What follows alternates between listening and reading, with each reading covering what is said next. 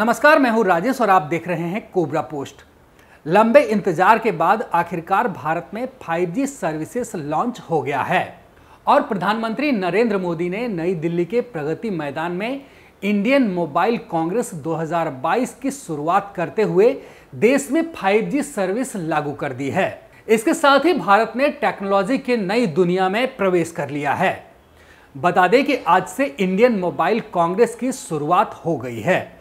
जो कि चार दिनों तक चलेगी और इसमें कई दूसरे इवेंट भी होने वाले हैं।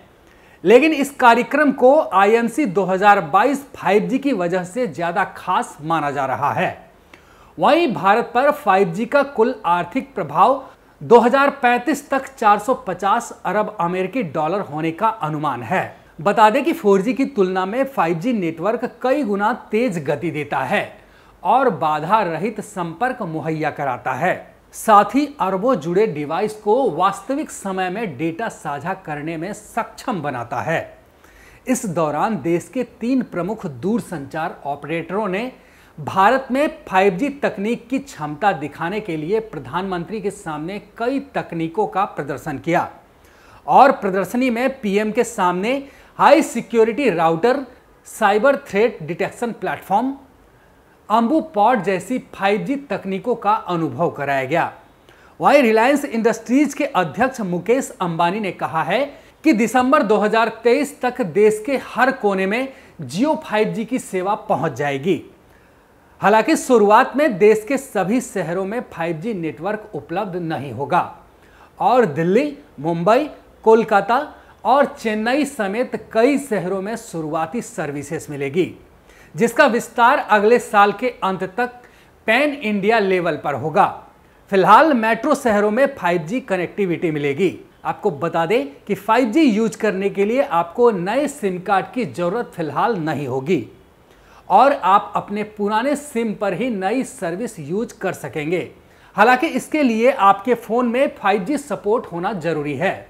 और 5G सपोर्ट ही नहीं, इसमें उन बैंड्स का भी होना ज़रूरी है जिस पर सर्विस उपलब्ध होगी।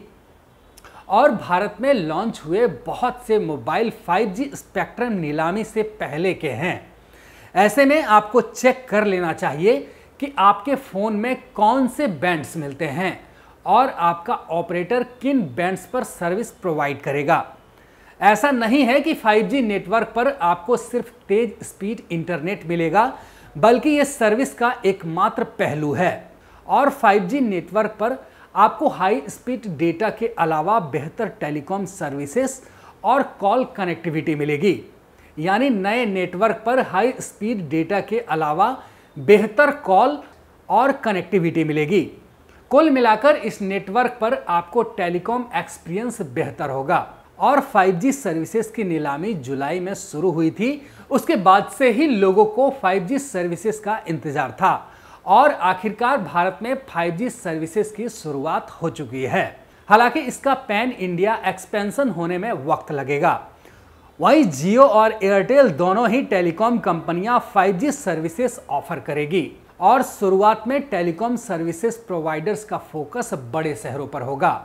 हालाँकि इसे यूज़ करने के लिए उनके पास 5G फ़ोन होना ज़रूरी है।